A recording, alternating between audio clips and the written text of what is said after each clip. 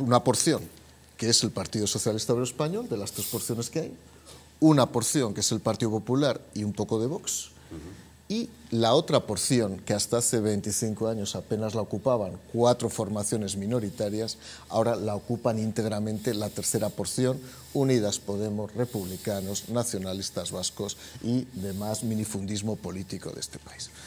¿Qué ha pasado cuando se rompe el bipartidismo con todas sus contrariedades, que ha tenido evidentemente efectos positivos y efectos negativos, pero que en algún momento funcionó correctamente? Hay que ver las cosas como llegaron a funcionar. Luego se descompone, evidentemente, por errores propios de los principales partidos políticos, tanto del Partido Socialista como del Partido Popular, y eso nosotros, los del Partido Popular, tenemos que hacer siempre una autocrítica, pero una autocrítica positiva. ¿Qué es lo que ocurre?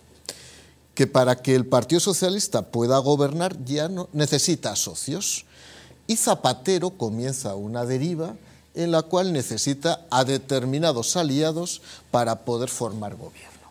Por lo tanto, además de un elemento de convicción ideológica, pues que Sánchez es un republicano puro, ya veréis que pronto comienza el debate monarquía-república, va a empezar en unas semanas, no tengo ninguna duda, porque va, y desde luego el debate anticlerical, anti-iglesia católica, va a empezar también dentro de unas semanas. Esto se va a calentar en las próximas semanas de una manera rápida. ¿no?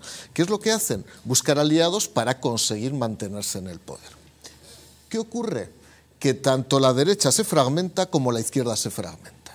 Zapatero concluye, en un nivel de fragmentación ya inicial, y desde luego Sánchez, que para conseguir el poder, la única opción que se le ocurre a Sánchez es pactar con el conjunto de fuerzas minifundistas y con Unidas Podemos. ¿Prefieres cuando, cuando termina Izquierda Unida, ¿no? cuando finaliza cuando Izquierda finaliza Izquierda Unida, la única posibilidad que tiene es Desaparece. esa. ¿Y qué ocurre? Que para gobernar es evidente, ojo, gobernar ahora, y para tener un pacto preconstituido para gobernar dentro de un año, de obtener mayoría suficiente en todas las formaciones, necesita pagar un precio.